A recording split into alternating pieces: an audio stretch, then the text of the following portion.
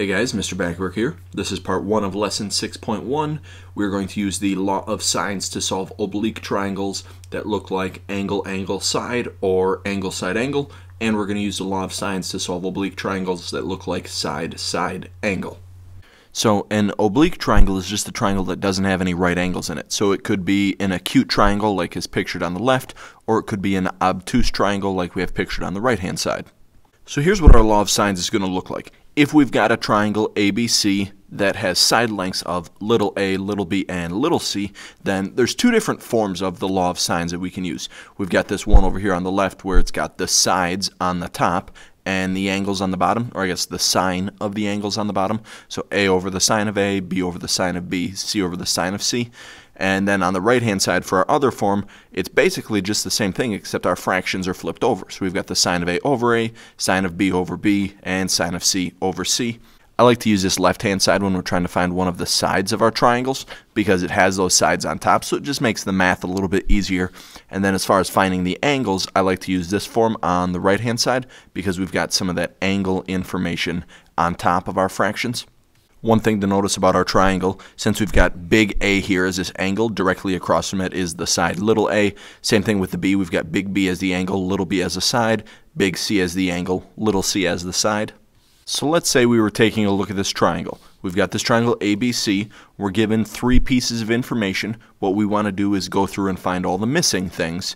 Now I'm going to start with the easy stuff.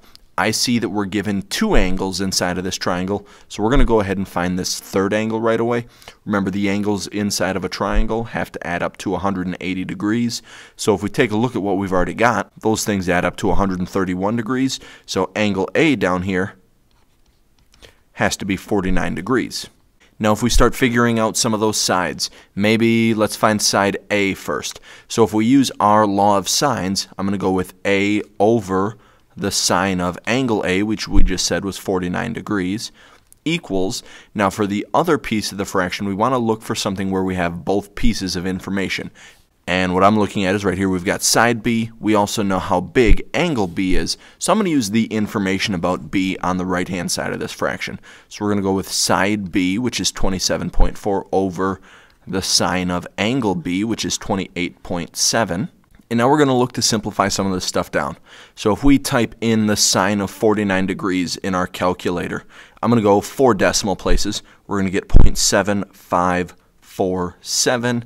On the right hand side, we should be able to type this entire fraction into our calculator. And again, I'm going to go four decimals on that. So we get 57.0567. Now our whole goal is to get this A piece all by itself, so what I'm going to do is take this 0.7547 and multiply it over to the other side, so 0.7547. Those things cancel out, and now we should just be able to type this stuff into our calculator, the 57.0567 times that other decimal, and we should get side A to be about 43.06, and I guess we're measuring this in feet. Last piece we need to find is side C. So I'm going to go C over the sine of angle C, which we said earlier was 102.3. On the right hand side, I'm going to use this same information about B that we used earlier. And remember, we typed that into the calculator once already. And when we did that, we got 57.0567.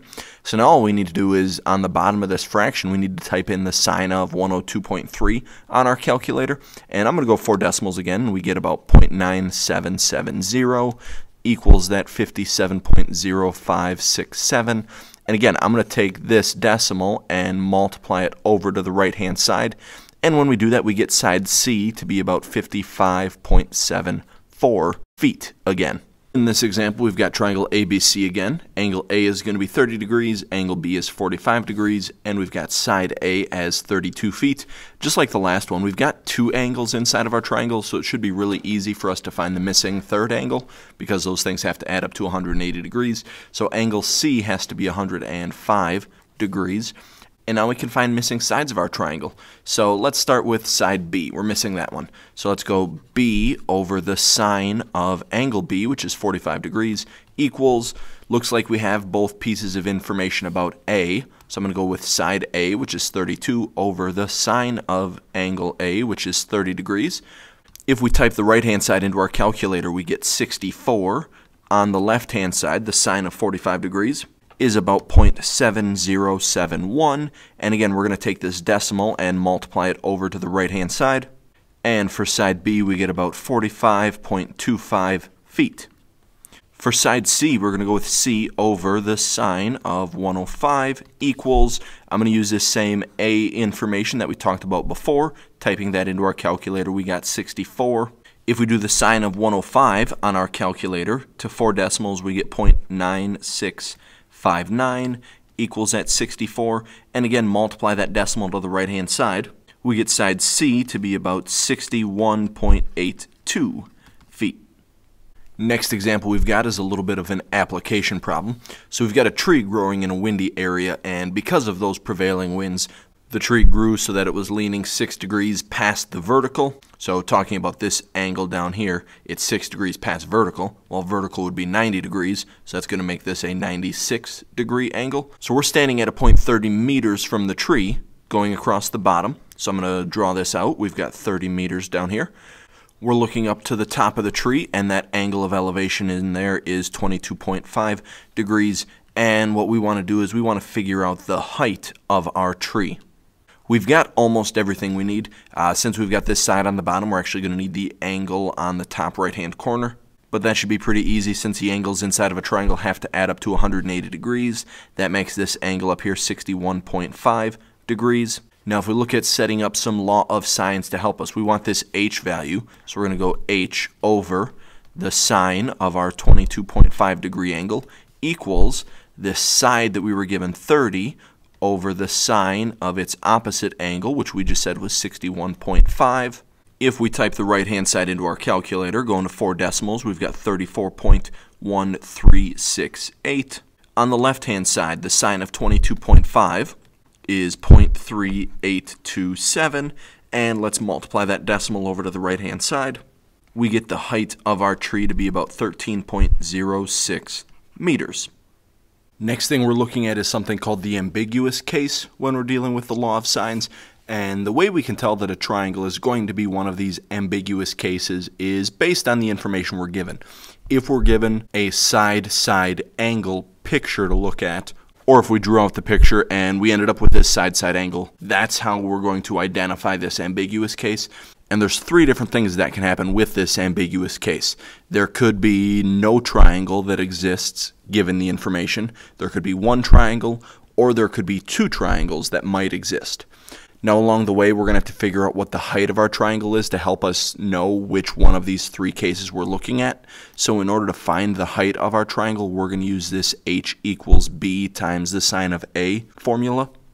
So first thing we're looking at is the case where no triangles exist. So there's really two different pictures we could be looking at, and it all depends on what kind of information we're given. If A is acute and the length of A is shorter than the height of the triangle, it would be this first picture.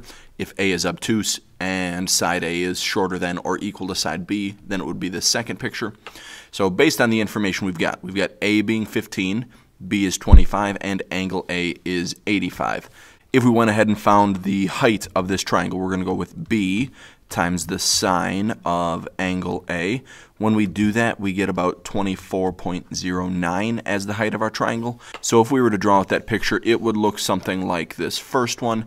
And basically what's happening is this side A in our picture isn't long enough to complete that third angle of our triangle. So we're going to use our law of sines to show that this triangle doesn't exist. So based on the information we've got, we're going to set up this form of our law of sines. So we're going to go with the sine of b over side b is 25 equals the sine of our 85 degree angle over side A, which is 15. Typing the right-hand side into our calculator, we get 0.0664. On the left-hand side, we've got the sine of b over 25. So we're going to multiply that 25 over to the right-hand side. So we get the sine of b equals 1.66 approximately. Now if we want b to be all by itself, what we're going to have to do is use an inverse sine to get b all by itself. So we're looking at the inverse sine of 1.66. And if we tried to type this into our calculator, it would tell us that there's an error. 1.66 is not in the domain of the inverse sine. This one does not exist. Next one we're looking at is going to be case 2, where we've got one triangle that exists. If we look at the information we've got, side A is 22 inches, side B is 12 inches, and angle A is 42 degrees. If we were to draw this one out, we would be looking at this middle picture because angle A is acute and side A is bigger than side B. Since there's one triangle that exists, this is going to be our normal law of sines setup. I think the first thing I would find would be angle B. Since we've got both pieces for A, we've got the side for B.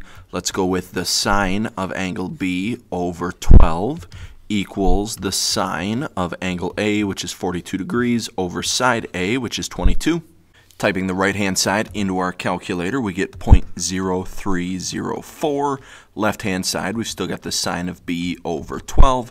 So I'm going to take this 12 and multiply it over to the right-hand side. And when we do that, we get the sine of b equals 0.3648.